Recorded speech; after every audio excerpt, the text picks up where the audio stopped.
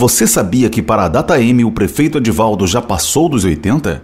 É, Éguas doido, 80%? Não. A Data M tem com a prefeitura é um contrato de mais de 80 mil reais. Pesquisas Data M. Dá para acreditar?